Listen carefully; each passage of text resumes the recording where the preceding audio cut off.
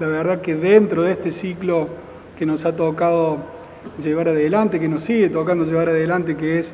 la pandemia, estar hoy acompañando a, su director de este hospital Pasteur, que fue de referencia eh, para toda nuestra región, para los 71 localidades que decía Sergio recién, eh, también eh, no solo agradecerle, sino demostrar la, la, satisfacción, la felicidad, él lo describí, lo comparto, es una herramienta más. otro sinónimo de ejemplo de trabajo de articulación, gobierno nacional, gobiernos, provincial, gobiernos provinciales, gobiernos locales y por supuesto las referencias de los hospitales sanitarios eh, de nuestra provincia. Es una, es una herramienta más que nos, nos, lleva a enfrentar el proceso con muchísimo más optimismo. Lo veníamos de alguna manera diciendo, ha sido grande el esfuerzo de, todas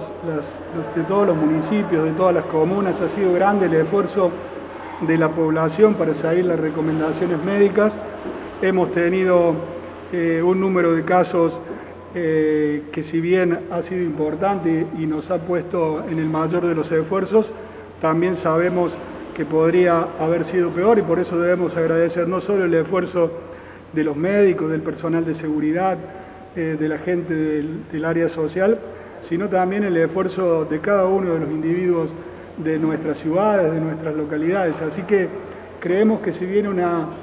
una fase de mayor apertura, mencionaban los cines, fueron los teatros, eh, vienen las bibliotecas, vienen los museos,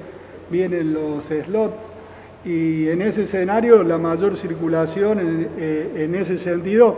eh, la vamos a tener que seguir tomando con la responsabilidad y las recomendaciones porque como bien decía el doctor Arroyo, el proceso de la vacunación, la, inmunización de la población tiene un trabajo de de muchos meses por delante. Así que seguiremos trabajando con la misma consigna, con el mismo respeto por esta enfermedad, sin subestimarla y por supuesto ahora sabiendo que se nos suma una tarea más también de forma articulada, donde nuestras ciudades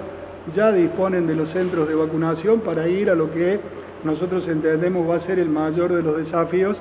que es ir por la población en general. En el caso de Villa María, me puede corregir Sergio, estamos hablando casi de 29.500 personas a, vacunar, así que ahí va a estar centrado el esfuerzo y esperemos que a través del diálogo, a través del entendimiento de los sectores y los actores podamos afrontar esta segura segunda ola con mayor éxito de lo que hemos hecho la primera, teniendo un escenario mucho más alentador y positivo por delante.